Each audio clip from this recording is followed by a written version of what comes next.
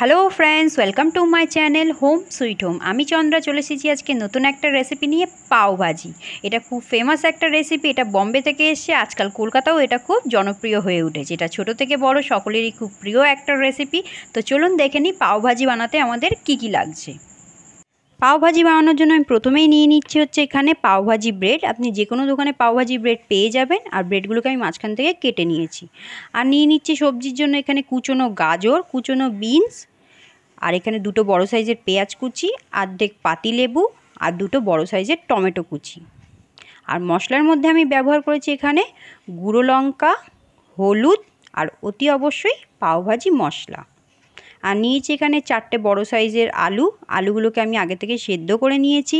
আর নিয়ে নিয়েছি এখানে সাদা তেল, কুচনো ধনে পাতা, স্বাদের জন্য নিয়েছি নুন, চিনি আর ছোটো সাইজের দুটো আমুল বাটার।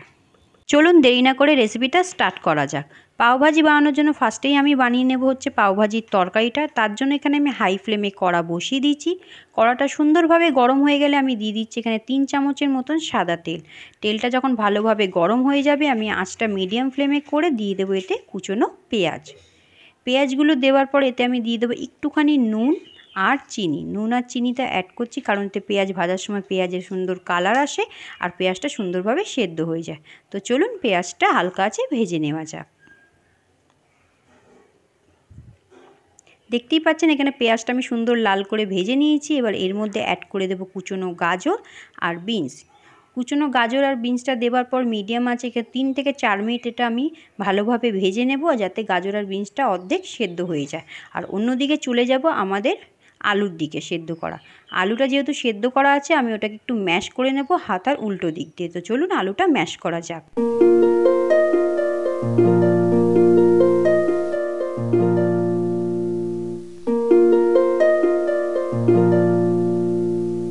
আমাদের আলুটা সুন্দরভাবে ম্যাশ হয়ে গেছে, আর এদিকে সবজিটাও প্রায় অর্ধেক সেদ্ধ হয়ে গেছে। এতে আমি দিয়ে দিচ্ছি কুচনো টমেটম।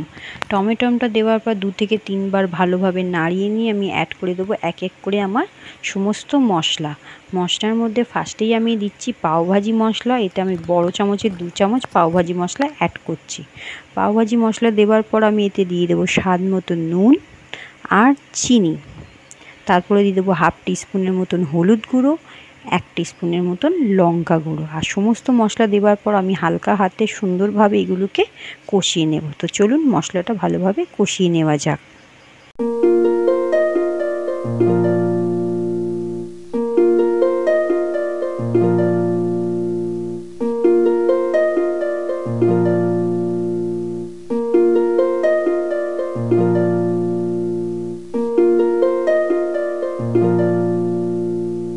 সবজির সাথে মশলাগুলো সুন্দরভাবে কষিয়ে নেওয়ার পর এতে দিয়ে দিচ্ছি ধনে পাতা কুচি। ধনে পাতা কুচিটা দেওয়ার পর দু থেকে তিনবার সুন্দরভাবে নাড়িয়ে মিক্স করে নিয়ে এতে দিয়ে দেবো আমি সেদ্ধ করে রাখা আলুটা। আলুটা দেওয়ার পর আবার এটা আমি ভালোভাবে সবজির সাথে মিক্স করে নেব। যখন আলুর সঙ্গে সবজি সুন্দরভাবে মিক্স হয়ে যাবে, এতে দিয়ে দেবো আমি পাতিলেবুর রস। আমি এখানে পাতিলেবুর রস ইউজ করছি, আপনারা চাইলে তেঁতুলের রসও ব্যবহার করতে পারেন। এতে টেস্টটা খুব ভালো আসে। তো পাতিলেবুর রস দিয়ে দিয়েছি, আর দেখতেই পাচ্ছেন খুব শুকনো শুকনো আছে তরকারিটা। তো এটা আমাকে গ্রেভি গ্রেভি বানাতে হবে, আর সবজিগুলো এখনও সুন্দরভাবে সেদ্ধ হয়নি। তাই এতে আমি দিয়ে দেবো তিন কাপ মতন জল। জল দেওয়ার পর এটা মিডিয়াম আছে ফুটিয়ে সমস্ত সবজি সেদ্ধ করে নেব। তো চলুন সবজিগুলো সুন্দরভাবে সেদ্ধ করে নেওয়া যাক।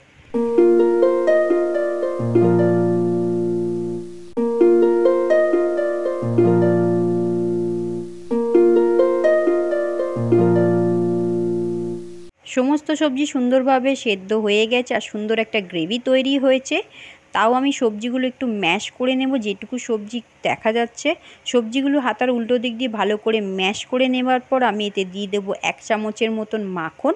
মাখনটা শেষে দিচ্ছি কারণ এর ফলে মাখনের সুন্দর একটা গন্ধ ছাড়বে আর মাখনের টেস্ট সবজি থেকে ভালোভাবে পাওয়া যাবে। তো মাখনটা মিক্স করে নিয়ে এটা নাবিয়ে নেব। নাবানোর আগে অতি অবশ্যই নুন আর মিষ্টিটা আমি চেক করে নিয়েছি। তো এখানে আমাদের তরকারিটা রেডি হয়ে গেছে, এবার আমরা ব্রেডটা রেডি করে নেব। ব্রেডটা রেডি করার জন্য আমি তাওয়া গরম করে দিয়ে দিচ্ছি একটুখানি মাখন, তাওয়ার চারদিকে মাখনটা ভালোভাবে লাগিয়ে নিয়ে আমি ব্রেডগুলো ভালোভাবে সেকে নেব।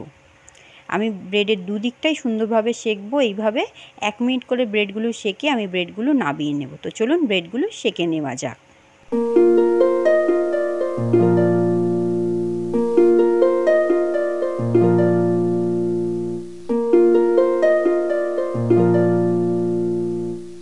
পাওভাজি ব্রেড আমাদের রেডি হয়ে গেছে, তো এটা এবার আমি পরিবেশন করে নেব। দেখতেই পাচ্ছেন পাওভাজি আমি পরিবেশন করে দিয়েছি, তরকারির ওপরে দিয়েছি একটু কুচনো ধনে পাতা আর মাখন যাতে টেস্টটা আরও ভালো আসে। সঙ্গে রেখেছি টমেটো সস, একটা কাঁচা লঙ্কা আর পেঁয়াজ আর অতি অবশ্যই পাওভাজি ব্রেড। তো এই রেসিপিটা আপনারা ঘরে ট্রাই করুন আর যদি রেসিপিটা ভালো লাগে একটা লাইক আর শেয়ার করবেন আর চ্যানেলটা অতি অবশ্যই সাবস্ক্রাইব করুন নতুন নতুন ভিডিও পাওয়ার জন্য।